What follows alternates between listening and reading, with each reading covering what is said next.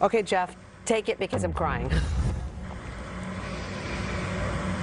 We do have some rainfall uh, moving on in as we head through uh, this upcoming weekend. Chances of that rain that has definitely uh, started to change. We're learning some new information about that, and I'll have that for you in just a bit. I did want to start off with that wider look here at the weather pattern, and uh, a lot of different layers going on. We do have tropical moisture from Tropical Storm Marie well out here in the Pacific. Some of that's actually getting caught up into the flow and moving into Southern California, and we have this smaller coastal system that's helping to pull that moisture up here into the Bay Area. Now, there's no rainfall with it, but you've probably seen that increase in cloud cover today, and it's all coming from that complicated pattern. Uh, now, the other thing this weaker system near the coastline is doing is going to drop our temperatures tomorrow and also get the fog going at the coastline. So let's get a look at that fog. It's going to be a lot more widespread than we've been used to. So that's the change for tomorrow morning.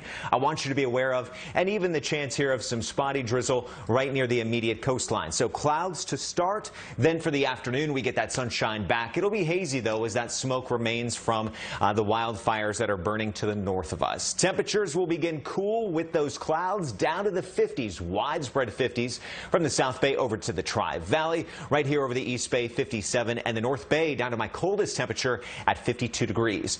Now, that system I talked about near the coastline, that's going to drop temperatures tomorrow 3 to 6 degrees. So it's going to be noticeable. I know you're going to love the forecast tomorrow tomorrow. Down here in the South Bay, instead of those 80s and 90s, we are at 77 in downtown San Jose. That's going to feel really great to you.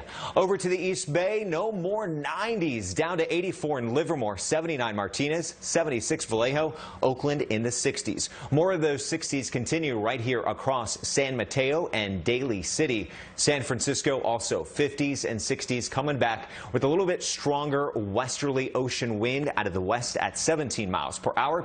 And right through the North Bay on the fire lines. We're also dropping it down to the 70s, and that'll be good news for that firefighting effort. So dry tomorrow, temperatures drop, but what about those rainfall chances? Not good news for big rainfall for us. It's now emerging. There's two different paths with our storm system on Friday. The first path would be closer to us. That'd be better rain chances. The second path would be more off towards the south, and that would be a little bit of a drier system. So here's what I've done on my seven-day forecast. I've kept rainfall chances in, but it's a scattered chance on Friday, a spotty chance on Saturday. Stay in the 60s in San Francisco. For the inland valleys, we're also dropping it down to the low 70s with a scattered chance of rain on Friday and a spotty chance on Saturday as well. The good news in all of this, no 100s coming over the next 10 days, and that is exactly what those firefighters need. Of course, we'll be tracking more of this coming up at 6 o'clock tonight.